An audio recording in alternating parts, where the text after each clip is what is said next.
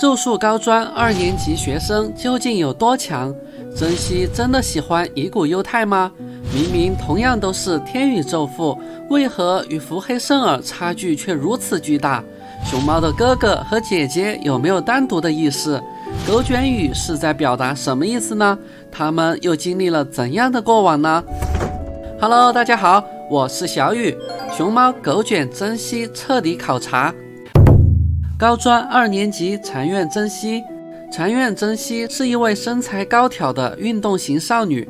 虽然出生于三大咒术家族的禅院家，但却是先天零咒力的特殊体质，必须要借助特殊的眼镜才能看到咒灵，因此遭到了重视咒力的家族排挤。真希的性格倔强要强，为了证明自己，独自来到咒术高专学习。为成为强大咒术师的梦想而努力，珍惜的判断力和行动力十分出色，深受同伴狗卷、熊猫、乙骨忧太的信任与尊重。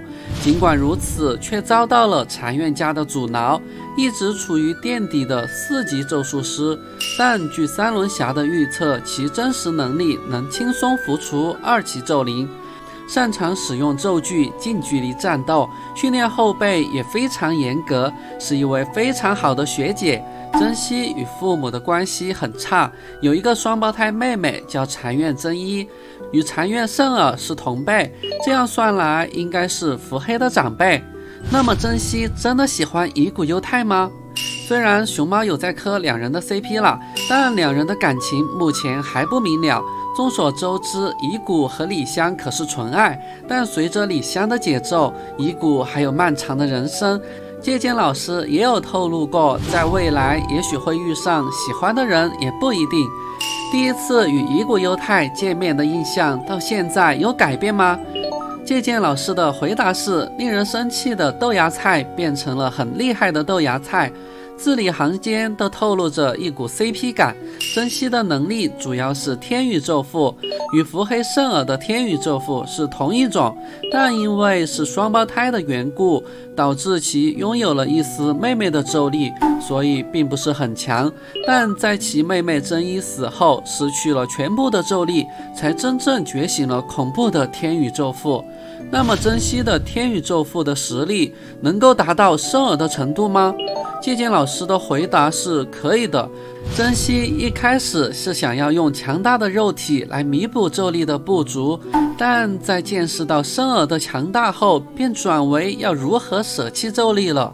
珍惜虽然在近战中展现出了无与伦比的实力，但相较于更优秀的近战高手，实力并不显眼。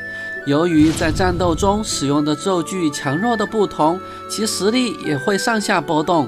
但珍惜可谓十八般兵器样样精通，其使用过的咒具有屠魔座、长刀、枪刃、暗器、三轮侠的太刀、特级咒具游云、龙骨、不知名咒具等。其中屠魔座是珍惜最爱用的咒具之一，就是被五条悟借给虎杖用的那把刀，但在与特级咒灵的战斗中损毁。当虎杖得知屠魔座是珍惜的咒具后，却不敢说自己损毁了，便搪塞珍惜，说刀还在五条悟那里。特级咒具游云本属于禅院圣耳，是不低于五亿日元的特级咒具，是纯粹的物理之力，因此其威力极大程度上取决于持有者的体力。龙骨是诅咒师祖屋柔造的杰作，是一把会有不祥黑色花纹的刀，能将碰撞中的冲击作为咒力吸收储存起来。根据使用者的意图，可以将积蓄的咒力从刀上喷射而出。不知名咒具是妹妹真一的构筑术士炼化的咒具，看起来是一把沉重而威力十足的刀。刀刃处的流苏装饰几乎挡住了刀柄，刀刃会发出滋滋的响声。这把刀本身有什么术式还不太清楚。珍惜的过往，珍惜出生于御三家的禅院家，与双胞胎妹妹禅院真一从出生起就被视为不祥。珍惜原本是零咒力，但因为与真一的孪生关系，又得到了微不足道的一点咒力。珍惜的天宇咒符因此大打折扣，而真一的咒力也因此大大减弱。这便是在咒术界双胞胎被视为不祥的原因，因为天赋会被一分为二，成为废柴。珍惜内心其实十分在乎妹妹。为了能让和自己一样被轻视的妹妹安生，想要当上禅院家家主，才离家出走，进入高专，不断努力锻炼。这一行为导致了不想成为咒术师的妹妹真一也成为了咒术师，因此真一对珍惜怀恨在心，认为珍惜违背了小时候不会分离的诺言。珍惜在交流会中制定了有效的作战方案。打败了三轮侠和妹妹真一，赶往伏黑战场处支援，却被花玉使用树枝缠住而无法动弹，最后被虎杖和东堂葵救下，撤离战场。在涩谷事变中，与伏黑会、七海剑人、直皮人一同迎战特级咒灵驼更，被驼更拖入领域内，陷入危机。伏黑圣尔突然从天而降，从真希手中抢走了特级咒具游云。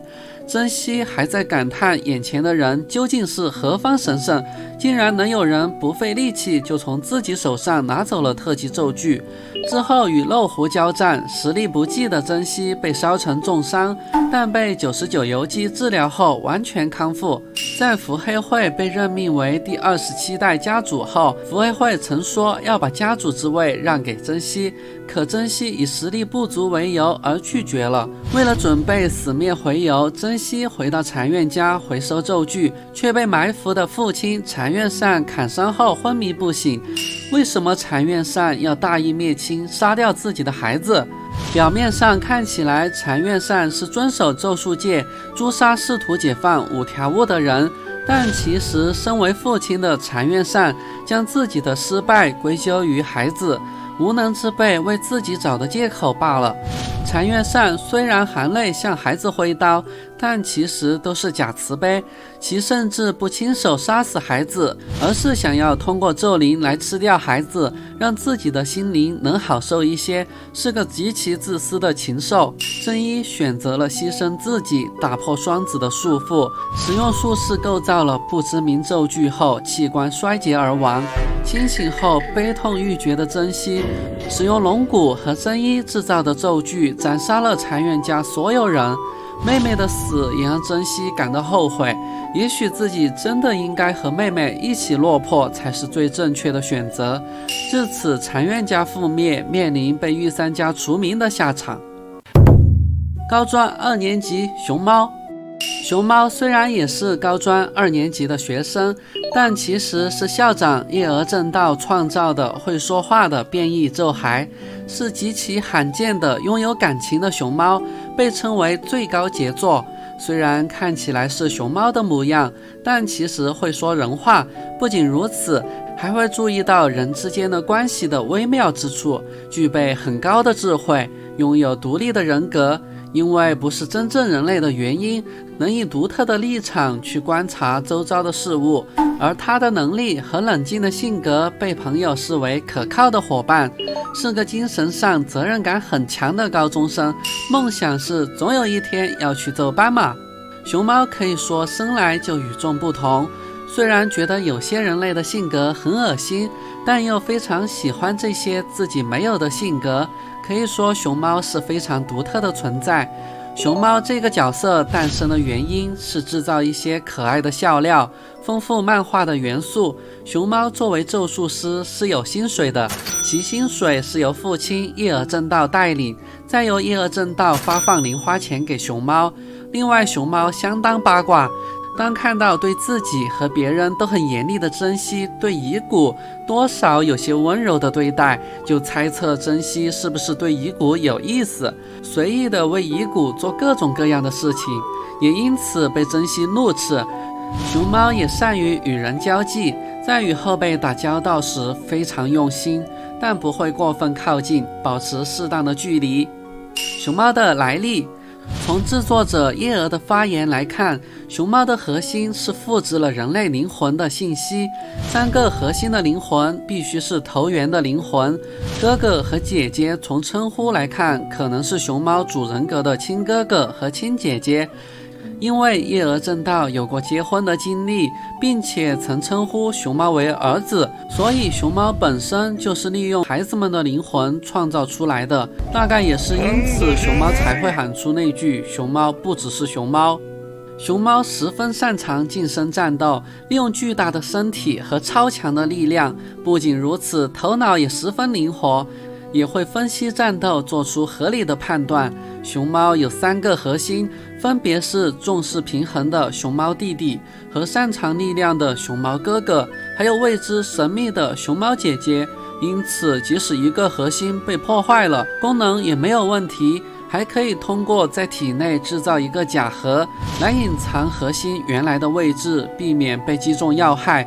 战斗中，熊猫可以将核心替换为哥哥或是姐姐的方式来改变其战斗的风格。在与机械王的对战中，就曾启动了大猩猩的模式，展现了仅次于东堂葵的强大力量，号称无法防御的机阵掌威力十分惊人。同时，咒力消耗也非常惊人，所以一般需要速战速决。熊猫更换核心会改变性格吗？哥哥和姐姐有没有单独的意识？答案是没有。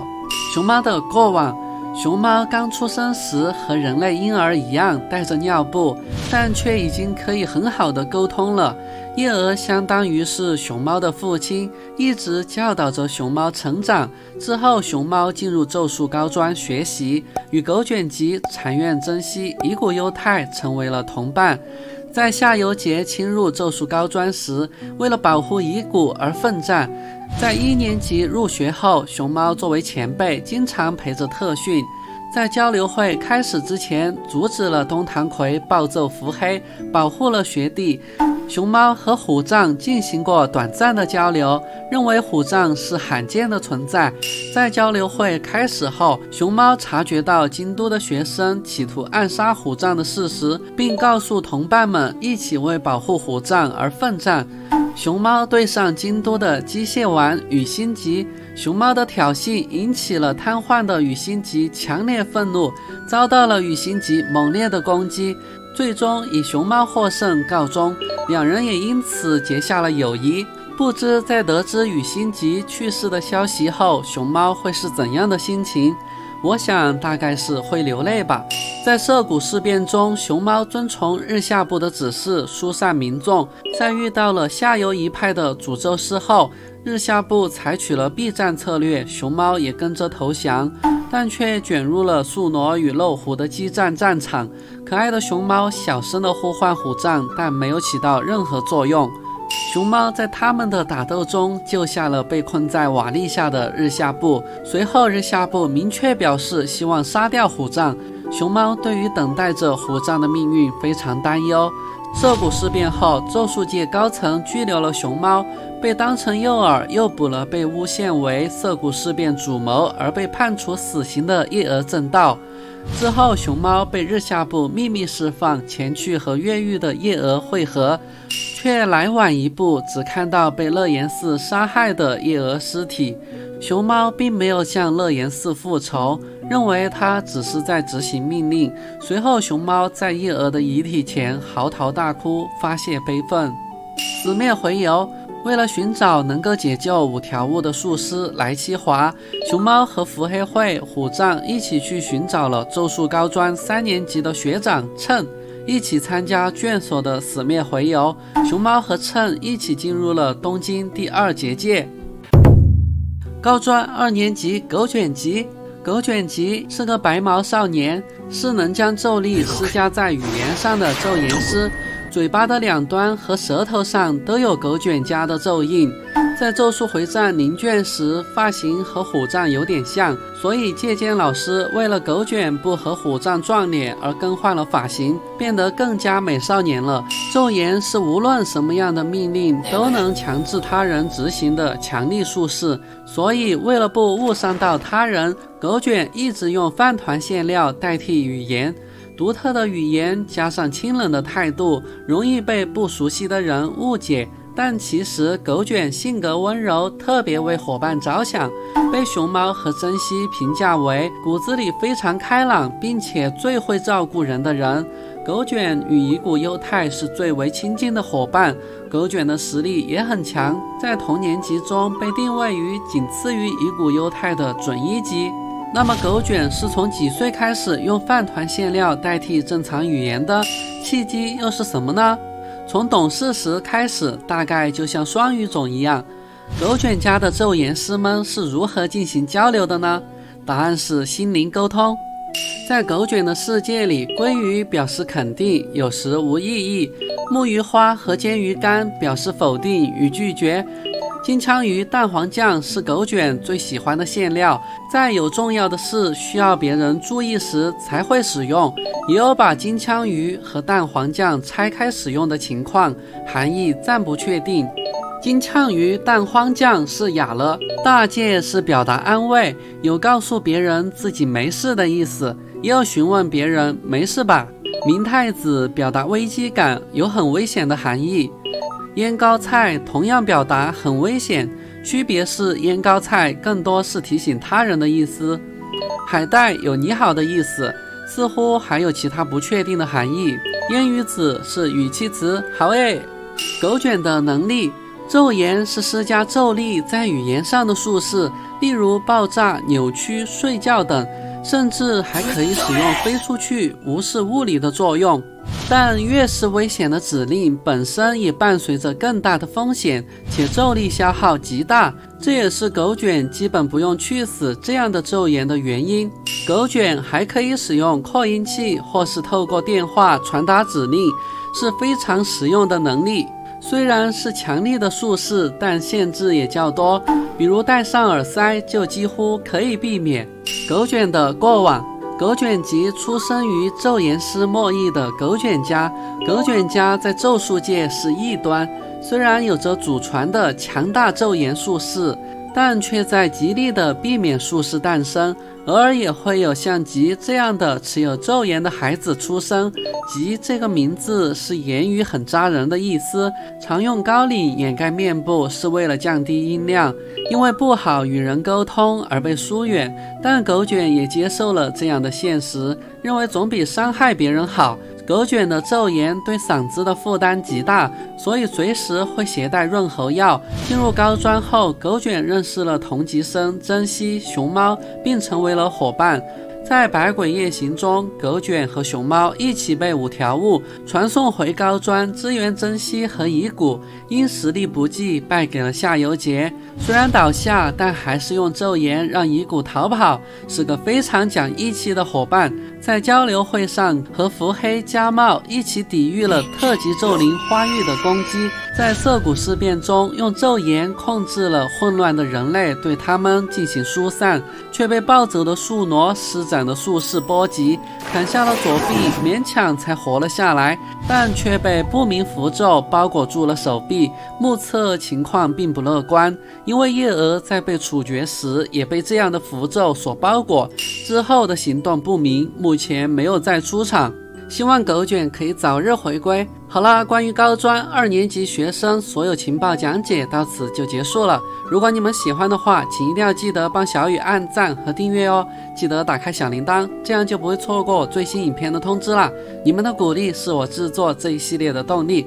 那我们下次再见，拜拜。